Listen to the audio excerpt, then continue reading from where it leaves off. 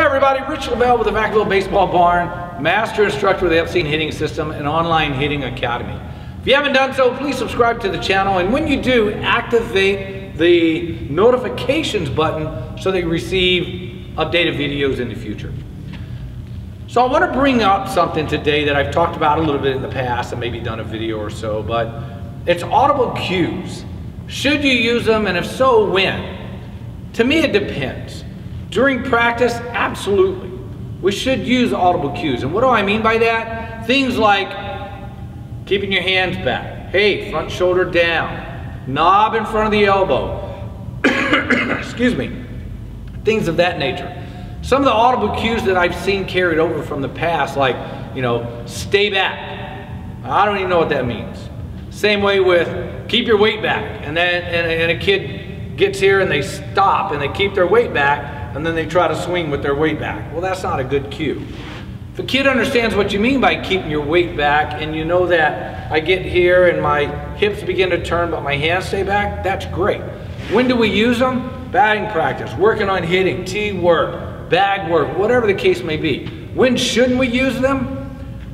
I think we shouldn't, or at least very limited, when the player is in the box during a, a competitive session, meaning a game or a scrimmage or something of that nature.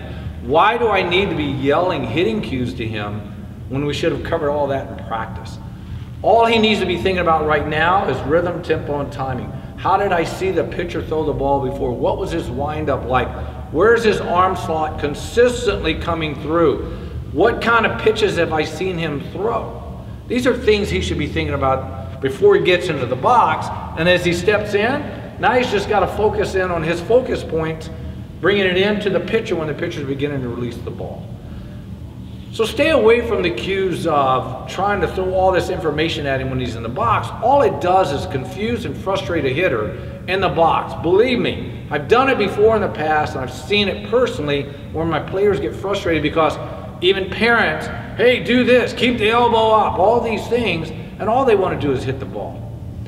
For the last three or four years that I coached, people were just, they would always ask me the question of, why are you so quiet in third base box? There's nothing I need to tell them there. There's nothing really I need to tell them on the field other than plays, other than calls that we want to perform as far as a set play or something like that. So keep that in mind, think about it, see if it really fits for you. Maybe keep the cues away from the player in the box so they can focus on one thing. Watching the pitcher, reacting to the pitch, and then hitting in the situation that you call. Hey, subscribe to the channel and don't forget, click the annotation, or excuse me, click, click the notation, click the notifications button for me, please. And if you want to set up a one-on-one -on -one lesson with me or work with me and you're not in the area, go to the link in the description and follow that to the Online Hitting Academy.